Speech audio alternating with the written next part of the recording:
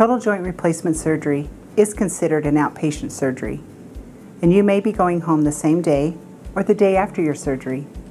Most of your recovery after your surgery will take place at home. Your house is familiar to you and comfortable.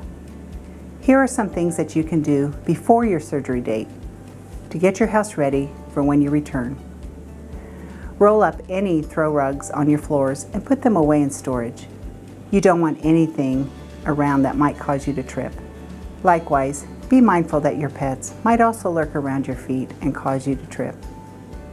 If you have access to crutches or a walker in the weeks leading up to your surgery, take some time to practice with them. Walk around your house using these aids.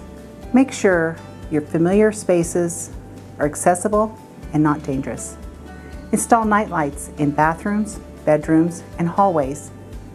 Although you'll be able to walk up and down the stairs at some point after your surgery, we recommend that for at least the first few days, you have a bed, a bathroom, and a place to sit and rest, all on the same level, if possible. Regarding places to sit after your surgery, higher is better. It can be difficult for you to get up and out of seats that are too low or cushions that sag and droop. Talk to your surgeon or physical therapist about the need for a raised toilet seat or shower chair and handrails.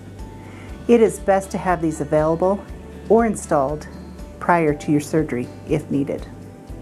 If you prepare and freeze a few meals before your surgery, you won't have to worry about meal prep after you get home.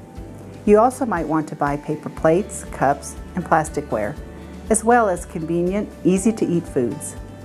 Also, you'll want to make sure you're caught up on laundry and house chores so you can concentrate on recovery once you get home without any distractions.